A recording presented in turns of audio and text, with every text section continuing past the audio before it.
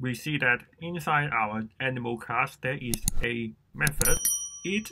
So what will happen if we also have eat this behavior inside our dog class?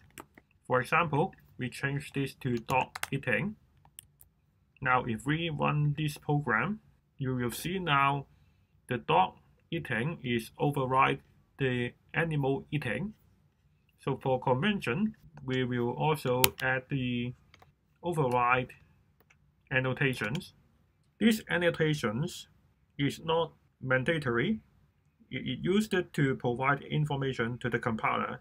It specifies the compilers that the method after this annotation override the method of the superclass.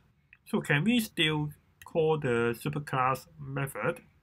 We can still call the method by using super.eat. Now if we run the program again, you can see the animal eating and also the dog eating. So it can successfully call the superclass method by using super.eat.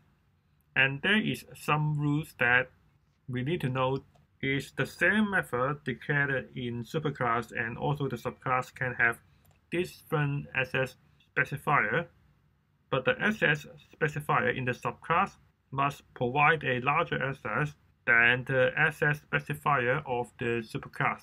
For example, we can still use the protect here because the public has a larger access than the protect. But if we make it opposite. This is public and this is protect. And you can see there is a error pop up immediately. So we must follow this restriction in order to make it work.